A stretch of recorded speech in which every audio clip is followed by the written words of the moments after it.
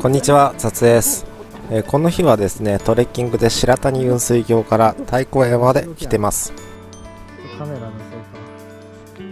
朝7時に船を降りまして、え8時から、え登り始めて、だいたい5時間ぐらいかけて登って、で4時間かけて、え下山しました。そしてこのみんなの疲れ切った表情です。さすがにちょっと限界を迎えてますね。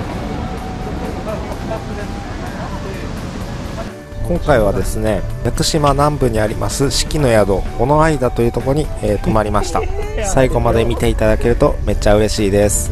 それでは行きましょう。屋久島の北側に位置するのがフェリー高速船が到着する宮の浦港。そして今回宿泊する四季の宿は屋久島の南側に位置します。だいたい車でまっすぐ行きますと30分から40分間ほどかかります。そして今回ガイドをしていただいたユッキーさんとお別れしますありがとうございました。そして四季の宿にチェックインします。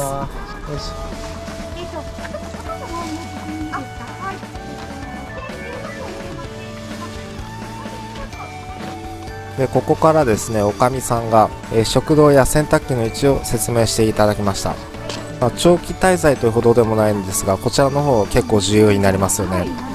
結構長く宿泊される方もいらっしゃるようです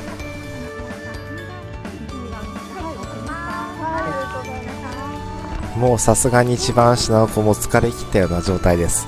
そらあんな山道歩くと疲れますわね。大人でも疲れました。パの荷物は持ったよねえああれはカバンはこれや持ってカバンは？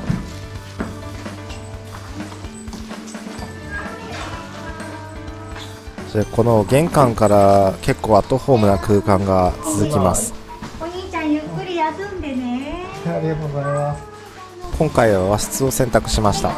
あこういう時は和室がいいですよね。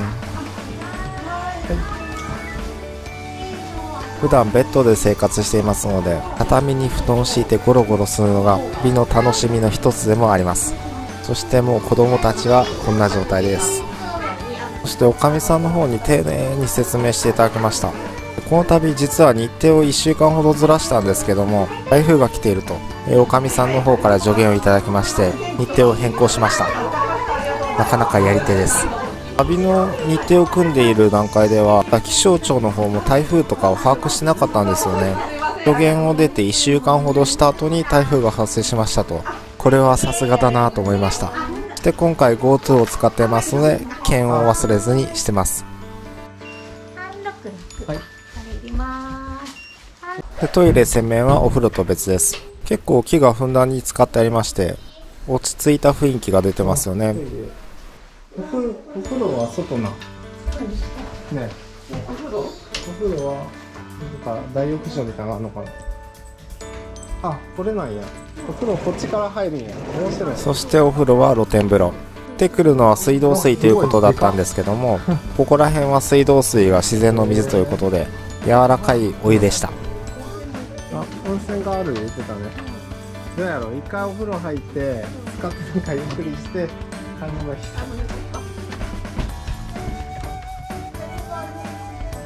ょっと待りますうんちょっとゴロゴロしてな。買い物大人だけでいいような気もするけどね。そして洗濯を仕掛けてですね少しだけ外に出ることにしました。まあ、ちょっと周囲に用事がいろいろありましたんでこちらも後ほど説明します。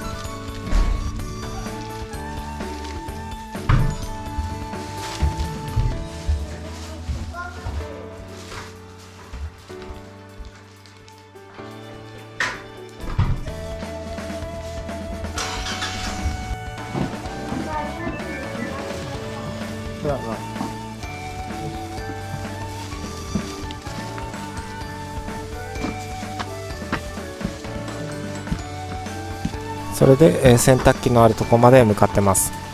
まあこのお庭が結構広くてですね疲れ切った体には結構な労力でした、えー、夜はですね、あのー、真っ暗でですねライトでもないとちょっと危ない感じはしますんでもし行かれる方いましたらライトの用意をお願いします。で正面に見えるとこにも宿泊される方がいらっしゃるようであんまりやかましくすると迷惑がかかるようです。気をつけます。すごいね。そしてもっちょむ岳が見えます。素晴らしい眺めです。でこちらの洗濯機と乾燥機の使用が100円かかるということでした。最後の生産の時に一緒にお支払いします。まあコインランドリーに比べて全然安いんで助かります。こういうサービスって大事ですよね。GoTo トラベルのクーポン券が出ていましてそれが期限がすぐなのでできるだけ早めに使わないとということですぐ近くの山のおやつ工房というとこに行きました。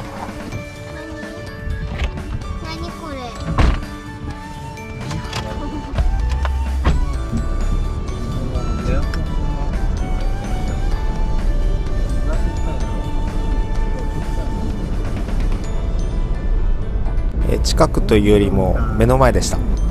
車で1分もかからなかったです。しながらこの景色素晴らしいですよね。めちゃくちゃ綺麗です。ギリギリ。あそこ登ったらしいよ。めっちゃ。こちらのお店が確か6時まで。で、えーこのタイミングで5時半でした。まあ、普通だったらちょっと嫌なタイミングかも分かりませんけど快く対応していただきました。ありがとうございます。メニューがですね結構ありましてこちら読むだけでも大変でした。スムージーがあったんで買ってあげたかったんですけどもまあ乳成分が入ってましてアレルギーがありますんでそちらは断念しました。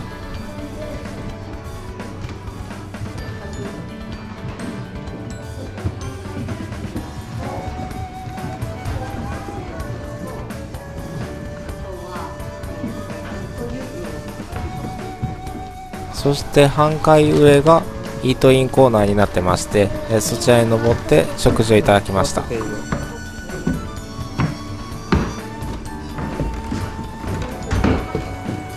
こちらも半階上がってるだけあって眺めは良かったです。もっちょむ岳がえー綺麗に見えました。私はアイスコーヒー、えー子供たちは、えー、タンカンジュースというのをいただきました。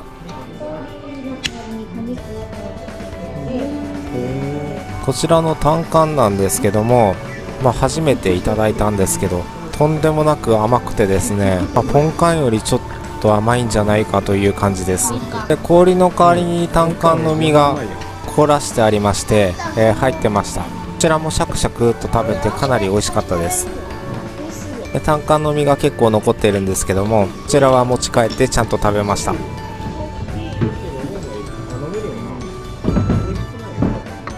ということで次の目的地へ向かいました。JR ホテルというところが近くにありましてこちらで屋久島クーポン券を販売しているということで向かいます。屋久島満喫クーポン券というのがですね現在発行されてまして1冊2000円で購入することができる5000円分のクーポン券ということです。普通に考えるとめちゃくちゃお得ですよね、えーこちらは旅行者に対して販売しているそうです。1泊1人当たり1冊で販売してくれます。でこの時2泊しまして小学生以上の販売ですので4人で、えー8枚分1万6000円払って4万円分のクーポン券を買うことができます。この破壊力すごいですよね。ということで GoTo でいらっしゃる方全員なんですけども身分証明書の所持をお願いします。これ忘れると結構痛い目合いますんで大変なことになりますんで注意が必要です。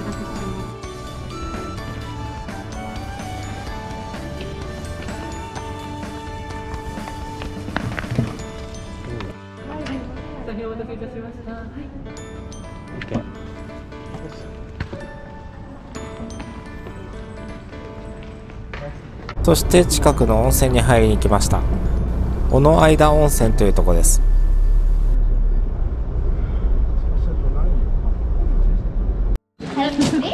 小野間温泉というとこに来ました。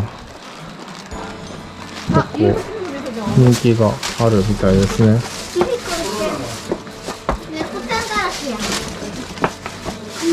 へえ売られる 猫ちゃんがいっぱいおるな。熊みたいね、いいのよ入ろう本当に昔ながらの公衆浴場ですね。こういうとこ大好きです。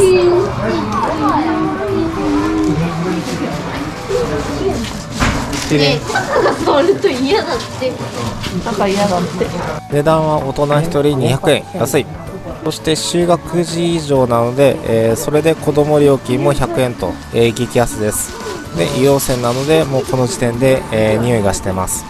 タオル石鹸などはありませんので持参しないとダメです。でまあそこら辺にですね猫ちゃんがいっぱいいてですね可愛かったです。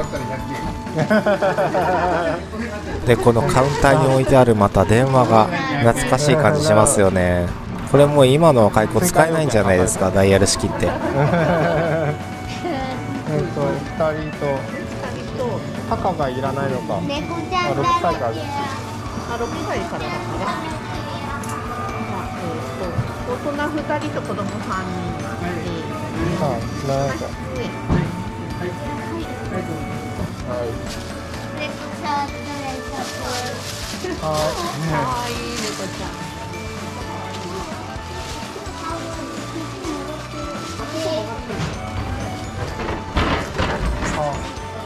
そうなのハギしっぽちゃんへえ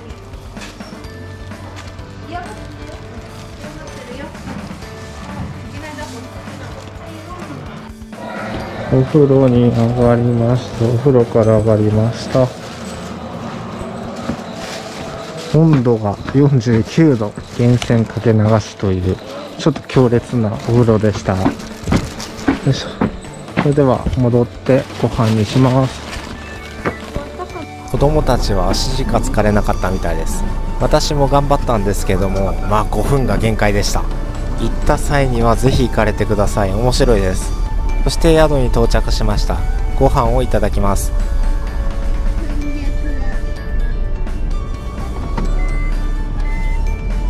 え食堂へ向かってるんですけども夜は夜ですごい綺麗な感じですよね。アウトドアで面白いです。で秋口だったんで虫も少なくてですねとても良かったです。ご主人が待ってくれていました。そしてメニューはこのような感じです。トビウオがメインディッシュなんですね。そしてお刺身の方が、えーサバとトビウオとサバのお刺身ってあんま見かけないですよね。まあすぐ傷んでしまうっていうのがあるんですけどもかなり新鮮じゃないと食べられたもんじゃないはずです。へえすごっ。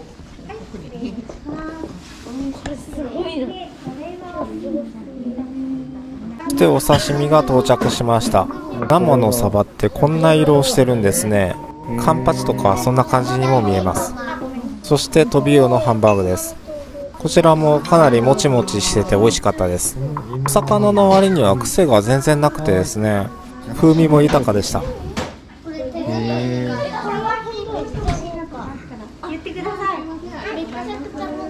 してこれが屋久島豆腐。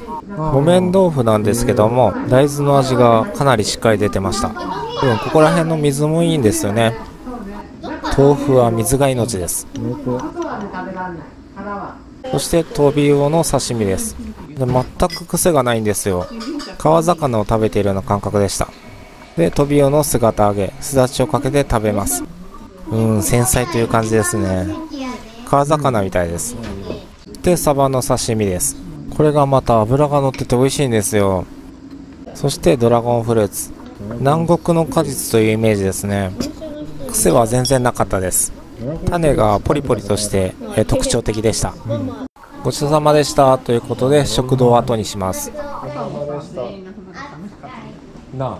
あ朝そうなのまだ残っとっちゃう。岡弘しえもう寝る用意をします。疲れましたトビウパパ松松実はですねもうこの時点でフラフラでした。オ足が足があごちそうさまでした。足が筋肉痛。よいし足がょよいし誰か入ってた？んなんで？ん今日はお客さんがおるんやろ？お邪魔してたん？うん。ちょっと休んでただけ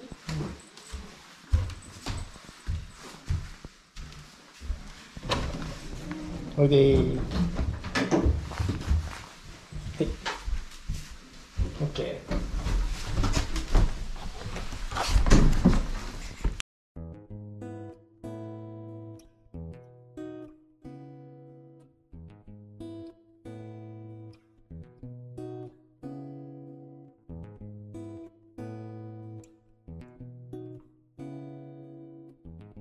起きて外を見ると南国でした。風景がもうすごい南国ですよね。モッチュム岳が見えます。あ見てあそこ綺麗。うんすごいな。朝焼けになってて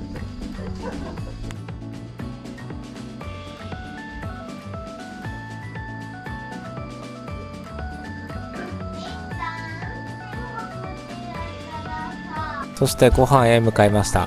もう一日寝るとですね生活感たっぷりの部屋になります。すいません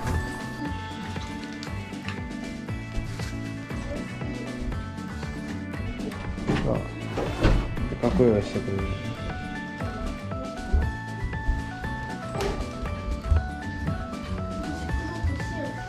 うんすぐの何も用意してないよ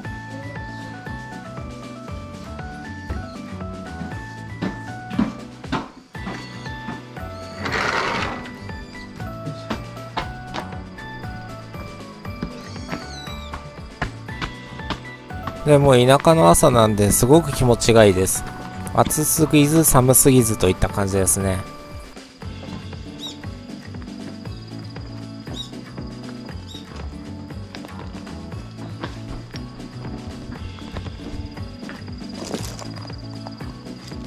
朝食を取りに食堂へ向かいました。結構あのホテルの朝食私好きなんですよ。楽しみにしてます。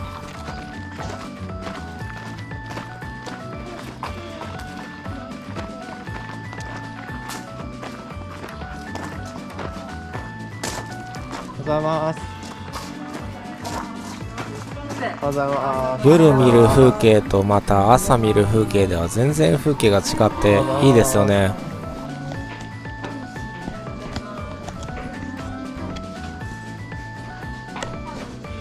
それで椅子に座るともちょむだけが見えます。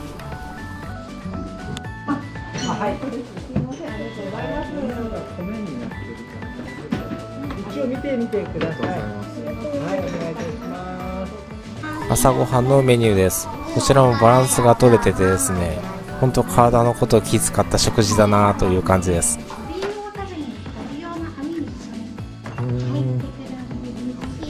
そして単管ジュースです。私ほんと好きになりました。これ本州でも手に入んないかな。まあもしかしたらあるのかもわかりませんね。ちょっと通販なんか探してみようと思いますお味噌汁の味噌は白味噌。まあ九州ですね。で醤油は甘めといった感じです。九州の醤油食べたことありますか？甘いんですよ。私甘い醤油でお刺身食べるのが好きでですね。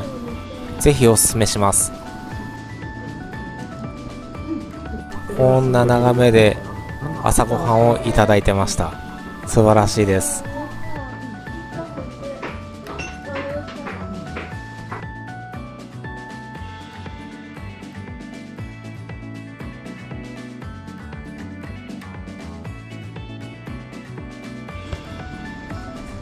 せんごちそうさまです。カヌーさ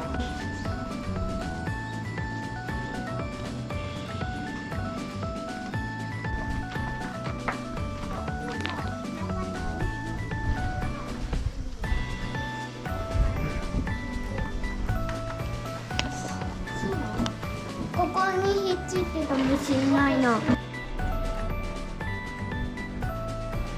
どうもありがとうございました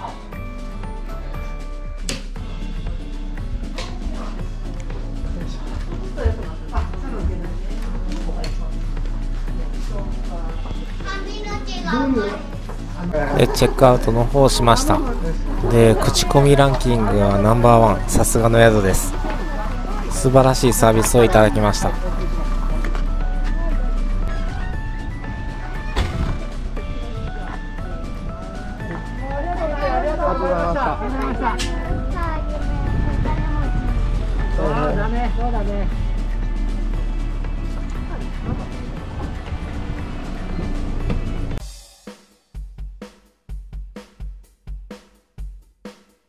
ということでご視聴ありがとうございました、えー次回はですねカヌーを使ってのアクティビティ家族で体験することができました。水がですね河口付近からずっと綺麗で透明度が半端なかったです。で途中休憩をしたりご飯を食べたりと一日楽しみました。次回はもしお時間あればご視聴くださいませ。ありがとうございます。